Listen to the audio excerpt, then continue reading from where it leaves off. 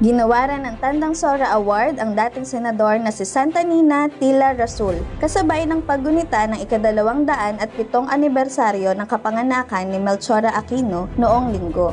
Si Rasul ay kinilala dahil sa kanyang mga naging kontribusyon para sa karapatan ng mga kababaihan at pagsulong ng kapayapaan sa Mindanao. Ani ng anak ng dating senadora na si Amina, ang kanyang ina ang natatanging babaeng Muslim na tumakbo sa Sulu para sa oposisyon noong panahon ng batas militar ni Ferdinand Marcos. Dagdag niya, huwaran si Nina Rasul sa pagsasabuhay ng mga asal na pinahahalagahan ni Tandang Sora. Ang inaasahan ho namin, ang virtues ni Tandang Sora, eh sana nating virtues ng lahat ng mga kababaihan sa buong Pilipinas. Dumalo si Congressman Kit Belmonte at iba pang opisyal ng konseho sa seremonya upang mag-ali ng bulaklak sa bantayog ni Melchora Aquino.